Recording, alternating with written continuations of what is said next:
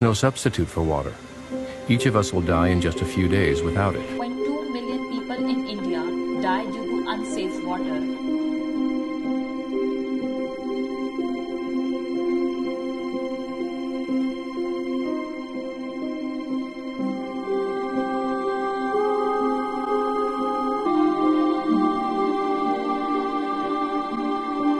बारिश की एक एक बूंद हम कैसे बचाएं So, what do we do To conserve water?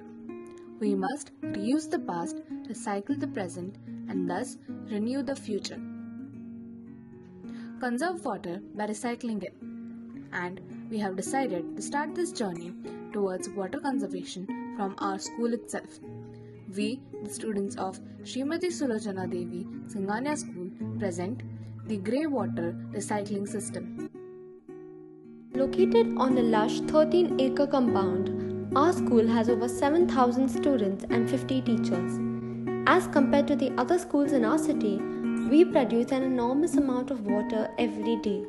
With 8 washrooms per floor and each washroom having 4 toilets and 4 sinks, we have over 64 toilets and 204 sinks in total. Statistics show that 5 liters of water is required per flush and one water faucet tap uses 6 liters of water. Hence, on an average of 1 hour, our school generates 1600 liters of water. This huge amount of grey water produced is neither recycled nor reused. Thus, we decided to take up this crucial issue of wastewater generation and create a model about the cost effective grey water recycling plant with the minimum usage of electricity and manpower. Although we currently do not have the infrastructure, we hope that this model paves the way toward a greener and more sustainable future for our school. Wastewater from the wash basins contains a lot of toxins and is not fit to use for other purposes.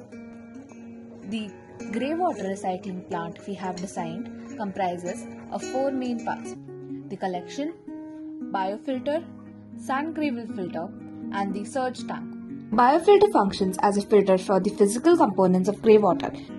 These include food particles, dirty water, hair, dust particles, and other solid particles which cannot be separated by the filter easily. Sand gravel filter, which consists of alternate layers of sand and gravel, which helps to filter out the soap water, pathogens, viruses, and microscopic impurities. The water is then collected into the surge tank. Here, clean and purified water flows a little at a time and is stored for further use. This completes our purification process and the clean water flows from the outlet of the surge tank to be used as the flush of the draining system. As you can see, the model we have created does not make use of any electricity or energy of any kind. This makes the recycling process of water sustainable, cost effective, and eco friendly. Water flows from one end of the drainage system to the other mainly due to hydraulic pressure.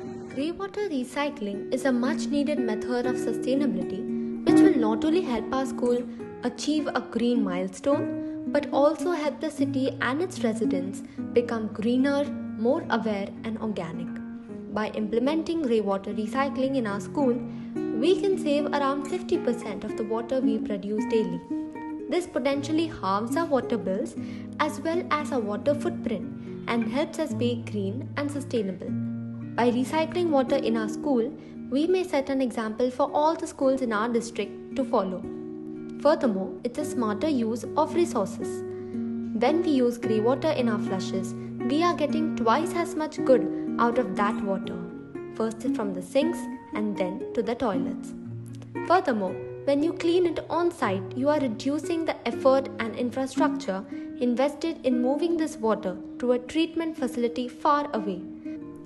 Moreover, unlike a rainwater harvesting system which relies on rainfall, grey water is in plentiful supply on a daily basis. The more clean water that you use to wash yourself, your food, and your dishes in school as well as your home, the more grey water you will have to recycle. As a result, by implementing the grey water harvesting system in our schools, we will help our school achieve a green milestone and encourage the others around us in our city to do the same. Thank you.